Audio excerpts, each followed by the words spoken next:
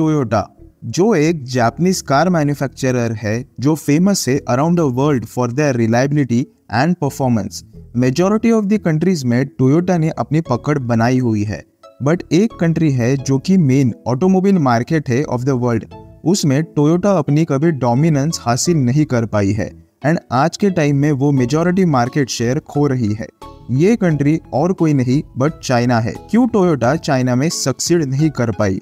And अभी उनका market share continuously क्यों गिर रहा है? टोयोटा की चाइना स्टोरी स्टार्ट हुई इन 1964 मेजोरिटीली उस टाइम पे टोयोटा अपने व्हीकल्स चाइना में इंपोर्ट करता था, जो थे mainly trucks buses and larger sedans China उस टाइम पे ग्रोइंग इकोनॉमी था एंड लोगों के पास इतने पैसे नहीं थे कि वो नई कार्स अफोर्ड कर पाए। तो टोयोटा का मेन बायर थे government and government officials but जैसे जैसे टाइम आगे चलता गया हम सबने देखा कि कैसे चाइना को प्रोग्रेस हुआ।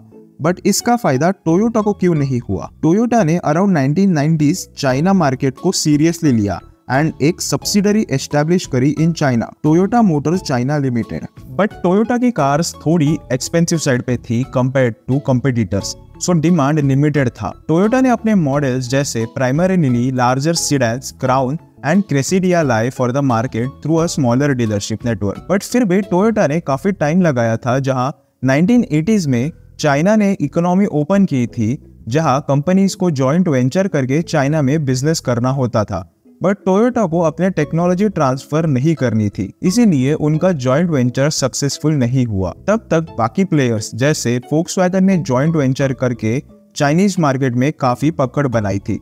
बट ऐसा क्या मेन रीजन था जहाँ टोयोटा वेस्टर्न कंट्रीज़ में वाइडली पॉपुलर हो रहा था बट ग्रोइंग चाइनीज़ मार्केट में वो पीछे पड़ रहे थे। सो टोयोटा अमेरिकन मार्केट में कैसे सक्सीड हुआ था? टोयोटा ने स्टार्टिंग से ही अपना ज़्यादा फोकस एंड अटेंशन दिया था on the western market around 1970s and 80s American cars में क्वालिटी इश्यूज़ होते थे। टोयोटा ने जब से एंट्री ली थी इन द मार्केट उनकी रेपुटेशन बनी थी for well build product and reliable vehicles की। अराउंड 1970s फ्यूल के प्राइसेस बढ़ने लगे इन अमेरिका टोयोटा के इंजिन फ्यूल एफिशिएंट के साथ साथ पावरफुल भी थे। टोयोटा एक कंसेप्ट फॉलो करती थी काइजेन मतलब कंटिन्यूस इंप्रूवमेंट ये फिलोसफी का मतलब है कि टोयोटा कॉन्स्टेंटली अपने manufacturing process and vehicle design को रिफाइन करेगी, ताकि वो कॉम्पिटेटिव रहे इन दी मार्केट टोयोटा का डीलरशिप नेटवर्क भी स्ट्रॉन्ग था अक्रॉस द यूनाइटेड स्टेट्स ये डीलरशिप प्रोवाइड करते थे एक्सेलेंट कस्टमर सर्विस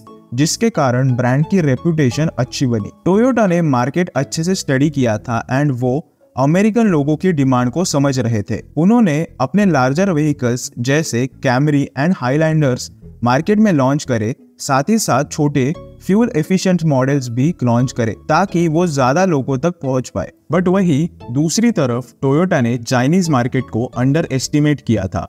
इसी कारण सबसे पहला रीजन जो टोयोटा के डाउनफॉल का रीजन बना इन चाइनीज़ मार्केट था misreading the market Toyota ने चाइनीज़ मार्केट को काफ़ी अंडर एस्टिमेट किया था। टोयोटा का फोकस था on larger sedans like Camry and others for the Chinese market but Chinese लोगों को अलग गाड़ियाँ चाहिए थी, जैसे affordable fuel efficient and compact cars और गलतियाँ जो टोयोटा ने चाइना में की थी, वो थी उनका स्लो स्टार्ट अगर कंपेयर करेंगे with Volks and Hyundai Toyota ने सीरियस प्रोडक्शन काफ़ी लेट शुरू किया इन चाइना जिसके चलते राइवल कंपनीज़ को अच्छी हेड स्टार्ट मिली एंड वो ब्रांड लॉयल्टी एस्टेब्लिश कर पाए. और एक बड़ा रीजन जो कि टोयोटा के फेलियर का बना था that was political tension between China and Japan China and Japan की एक लंबी हिस्ट्री रही है। चाइना एंड जापान में हिस्ट्री में कई वॉर्स हुए हैं, जिसमें जापान ने चाइना के कुछ पार्ट्स को इन्वेड एंड ऑक्यूपाई किया था। Mainly second Sino Japanese war जो हुई थी बिटवीन 1937 टू 1945 में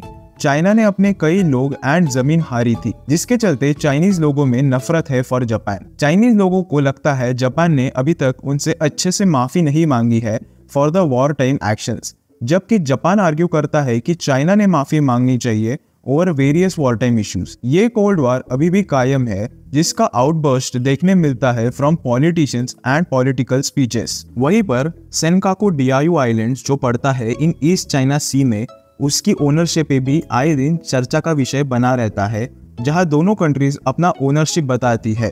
जिसके चलते छोटे मोटे नेवल क्लासेस देखने मिलते हैं बिटवीन चाइना एंड जापान ये रीजन के चलते भी चाइनीज़ लोगों को जापानीज ब्रांड पे कम ट्रस्ट है। यही नहीं बट चाइनीज़ कंज्यूमर्स की डिमांड फ्रॉम अ कार भी काफ़ी ज़्यादा होती थी। चाइनीज़ कंज्यूमर्स को हेवी लोडेड फीचर्स के साथ एक व्हीकल चाहिए होती थी, जो कि प्राइस में बहुत ही सस्ती हो। बट जैपनीज ब्रांड्स कॉस्ट भी ज़्यादा करती थी एंड वो लिमिटेड फीचर्स जो कि इम्पोर्टेंट एंड नेसेसरी होती थी, वही प्रोवाइड करती थी इंडिया कार्स जिसके चलते चाइनीज़ लोग दूसरी ब्रांड्स की तरफ़ भी जाते थे। बट आज के टाइम पे देखा जाए तो टोयोटा का report card in Chinese market तो वो थोड़ा सीरियस है। टोयोटा का मार्केट शेयर डिक्लाइन हो रहा है in the Chinese market and इसका मेन रीजन है ग्रोथ ऑफ़ चाइनीज़ ब्रांड्स जैसे B and Geely Chinese market में डोमेस्टिक व्हीकल्स की ग्रोथ के चलते टोयोटा को एक मेजर प्रॉब्लम फेस करना पड़ रहा है।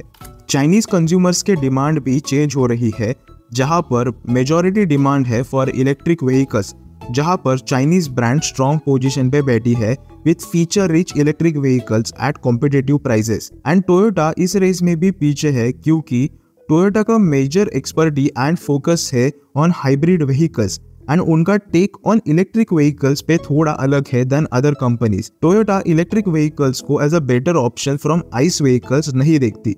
बट फिर भी टोयोटा अपना मार्केट शेयर नहीं खोना चाहती है। इसीलिए वो चाइनीज़ मार्केट के लिए ईवी पे काम कर रहे हैं एंड बैटरी मैन्युफैक्चरर से पार्टनरशिप कर रहे हैं। सो क्या लगता है आपको?